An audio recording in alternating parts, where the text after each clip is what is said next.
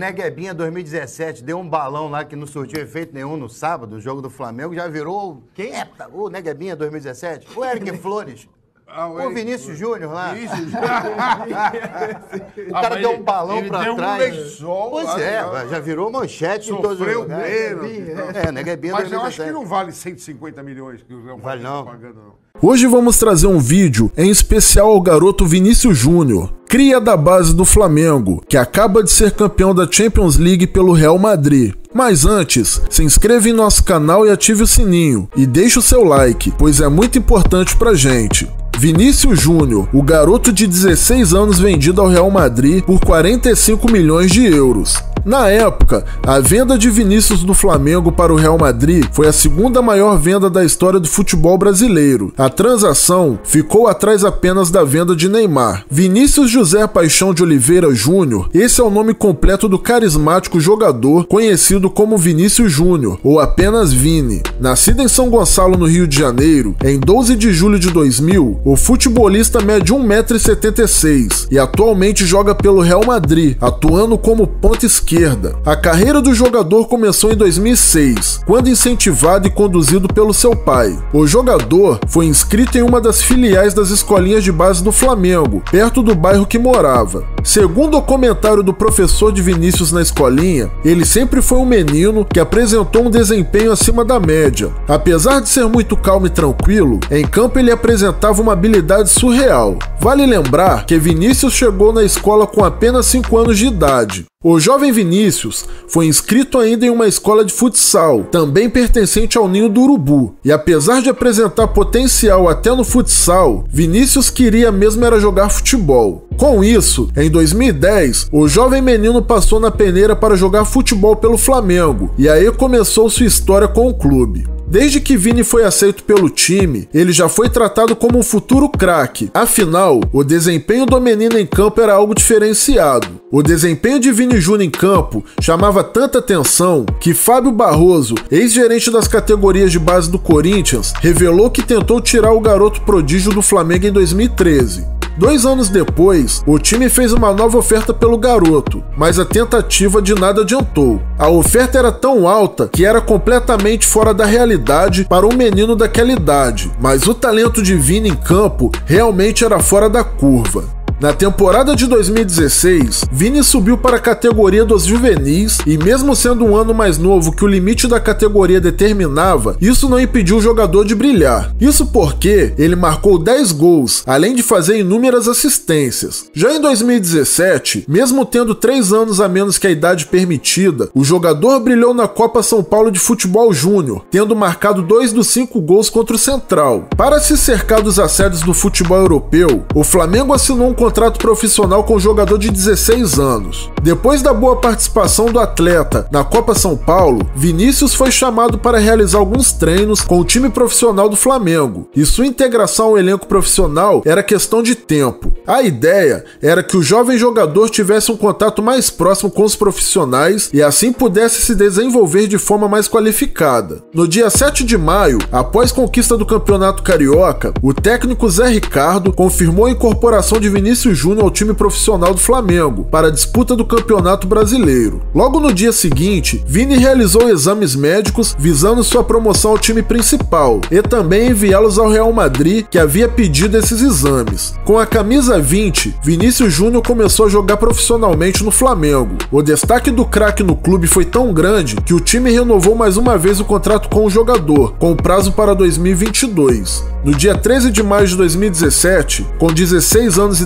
10 meses, Vinícius fez sua estreia como profissional na partida em que o Flamengo empatou em 1 a 1 com o Atlético Mineiro, válida pela primeira rodada do Brasileirão. Vinícius entrou em campo aos 37 minutos do segundo tempo, após pedidos da torcida. Entretanto, logo após a sua segunda partida como profissional, o Flamengo anunciou a venda do jogador para o Real por 45 milhões de euros. A venda é a segunda maior da história do futebol brasileiro e o maior valor arrecadado por um clube brasileiro por por uma negociação. Vinícius Júnior terminou a temporada de 2017 contabilizando 4 gols em 37 partidas, além de contribuir com muitas assistências. Já na temporada de 2018, Vini apresentou uma melhora e amadurecimento ainda mais incríveis e em pouco tempo se tornou o melhor sub-20 do Campeonato Brasileiro.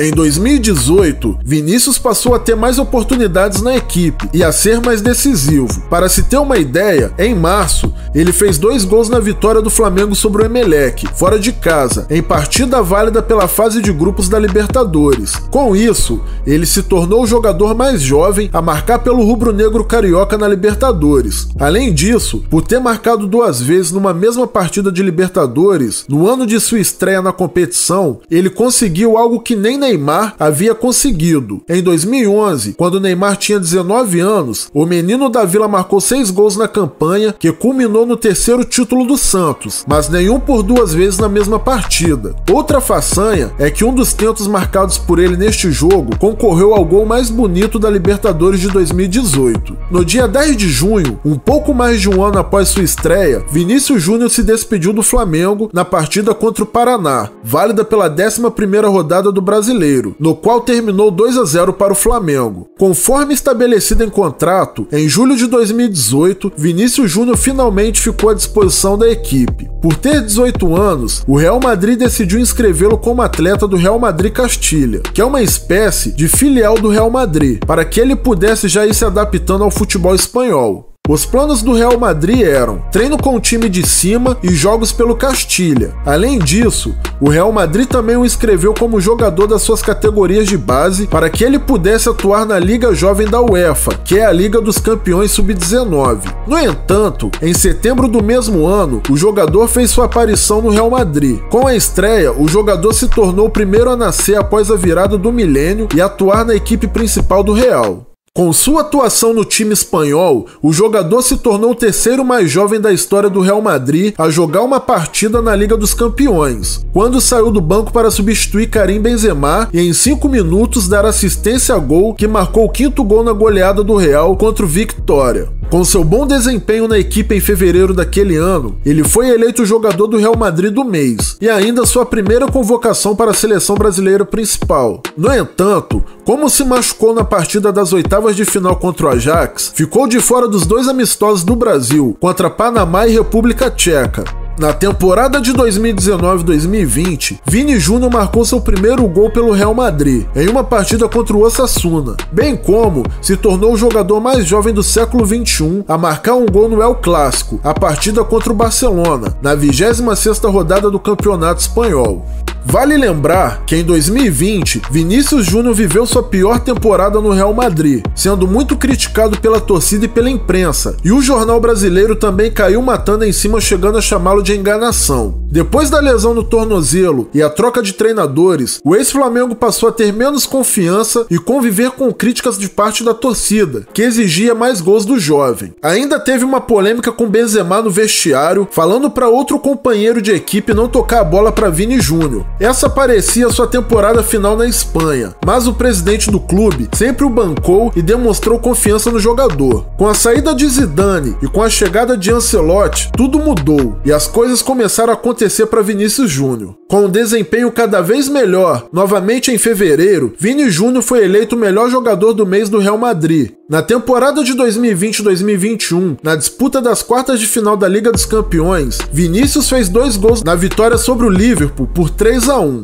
Com o desempenho, ele se tornou o segundo jogador brasileiro a fazer dois gols em uma partida de mata-mata da Liga dos Campeões. Com os feitos, o jogador foi coroado como o melhor em campo, além de dias depois ser eleito jogador da semana na Liga dos Campeões. Seu desempenho no Real Madrid cada vez mais melhorava, fazendo com que o jogador fosse eleito melhor do time em diversas ocasiões, além de marcar gols em partidas importantes do clube, bem como dar assistências importantes aos seus companheiros. Vinícius teve o melhor início dele pelo Real Madrid em 2021-2022, marcando cinco gols nas cinco primeiras partidas partidas da La Liga, sendo assim eleito o melhor jogador do Real Madrid em agosto. Vinícius continuaria seu bom momento ao novamente marcar e ser decisivo para a vitória contra o Celta de Vigo na rodada seguinte. Além do gol, ele sofreria o pênalti que originaria o quinto gol da partida, convertido por Benzema, que ao final do jogo chamou o brasileiro de fenômeno e que é sempre um prazer jogar ao lado dele. Vinícius voltou a se destacar logo na partida seguinte contra o Shakhtar Donetsk, pela quarta rodada da fase de grupos da Liga dos Campeões da UEFA.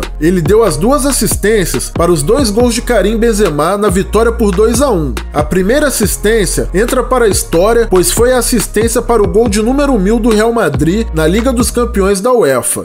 O grande desempenho o fez ser eleito o melhor jogador do Real Madrid no mês de outubro, sendo esta a primeira vez que ele vence o prêmio de jogador do mês duas vezes em uma mesma temporada. Ele novamente ganharia o prêmio em novembro de 2021. Contra o Paris Saint-Germain, pela partida de volta das oitavas de final da UEFA Champions League, Vinícius teve uma ótima partida, participando diretamente dos três gols da histórica virada e classificação por 3 a 1. O Real Madrid havia perdido o jogo da ida por 1 a 0. Nas quartas de finais da Champions frente ao Chelsea, Vinícius foi muito importante nos dois jogos, com duas assistências, ambas para Karim Benzema, se tornando assim o líder de assistências da competição com seis passes para o gol.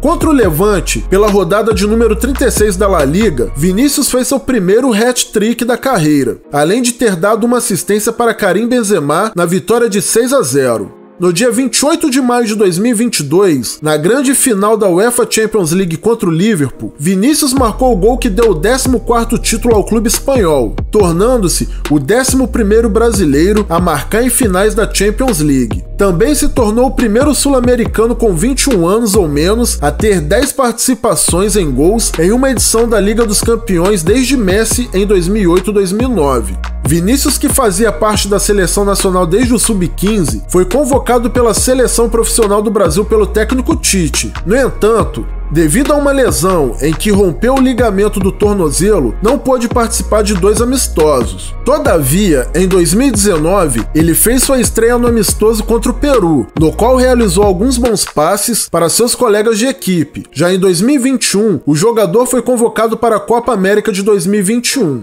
O estilo de jogo e ousadia do jogador em campo chama a atenção dos jornalistas e especialistas em futebol, os quais acreditam que o jogador pode ser uma nova versão do Neymar e até superá-lo. Se você gostou desse vídeo, deixa o seu like. Se você quer a história de outros jogadores, deixa o nome aqui no comentário. Se esquecemos de citar alguma coisa sobre o Vini Júnior, deixa aqui nos comentários também. Aqui é o canal Fúria Rubro Negra. Saudações Rubro Negra.